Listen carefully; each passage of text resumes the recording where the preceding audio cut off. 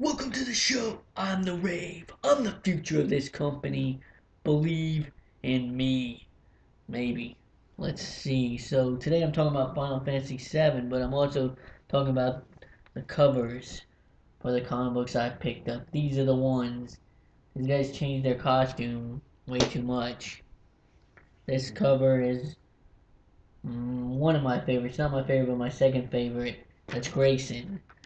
And this is Red Hood Arsenal. And this one is my favorite cover of the week. Red Hood Arsenal. With some Robin stomping his damn helmet. You can't do that to the Red Hood. He is the Red damn Hood. And that's his hood. Actually, it's not even a hood. It's really a helmet. So why they call him the Red Hood? Doesn't make any sense. So Final Fantasy VII, the remake not the not the HD remaster. People complaining. Wait, wait, wait, not turn based, not the turn based. I want it to be the same exactly the way it was before. It's gotta be the same as it was before. I'm not gonna buy that bullshit. It's wasting my money. Well, okay. You're gonna cry about every damn game that comes out. It's not fair. They're breaking it up into pieces.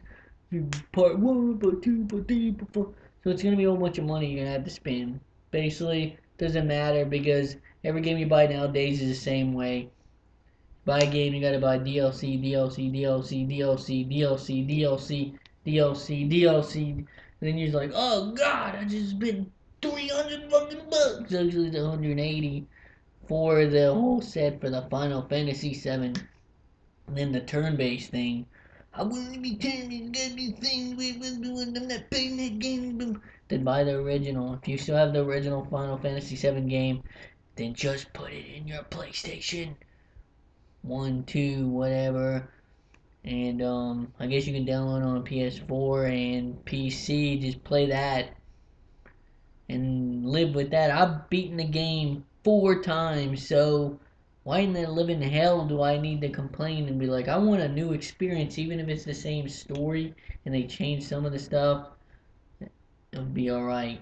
But I thought it looked awesome, the action based, but it does look like it's turn based because you're picking, like it says on the, in the bottom screen, it has like the part where you get to pick. So I mean, it didn't show that that you're picking, but you pick an attack. And the one thing I'm really happy about is at least it has limit breakers. I love limit breakers. That's what made me really love this game. I don't know why, but the story was great.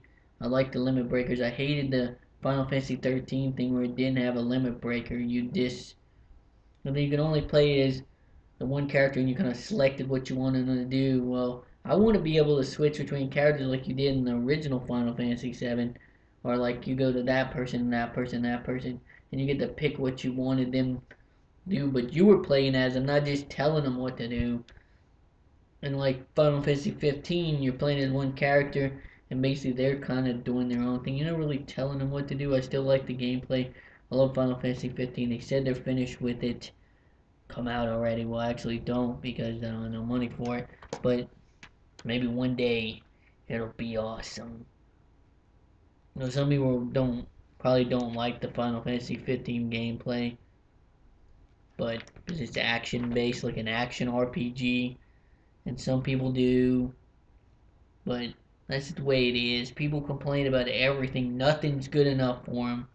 Are they screwing us over by making it, cutting it into pieces? Part one, part two, part three, part five, part sixty-eight. I don't care. But yeah, they, that's kind of stupid. But in a sense, I don't care. It's not really that big of a deal for me. Am I gonna get every part? Probably, because I'm a Final Fantasy fan. No, the first part is really good. What's going to stop me from getting the second part? Well, that would be another awesome game coming out at the same time as it, like maybe Scalebound, which I really want that.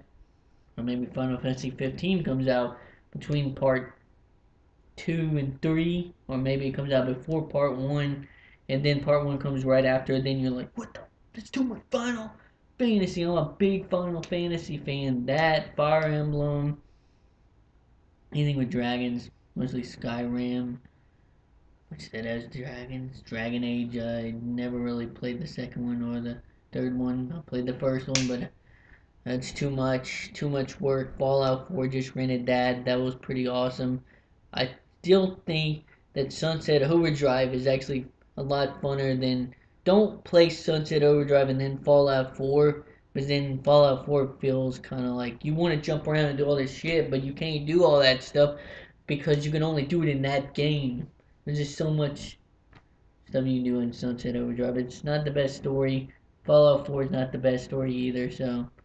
But there's a lot of customizing, and that's what I like. Games that you can customize. Even if they made Final Fantasy 7 and you get to customize your character like Cloud and make him wear whatever costumes he got, even his cross-dressing costume, and he can wear that in battle. That'd be pretty funny.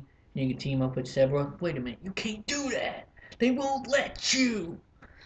But that would be pretty awesome. Like in my game, Final Fantasy Different Dimensions, you can team up with Sephiroth as your partner. However, can you trust this man? No, you can't. So, other than that, there was something else I want to talk about. Some other game or something.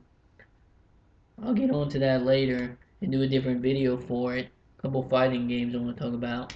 So, believe in the way. Wanna be your Final Fantasy Booyaka!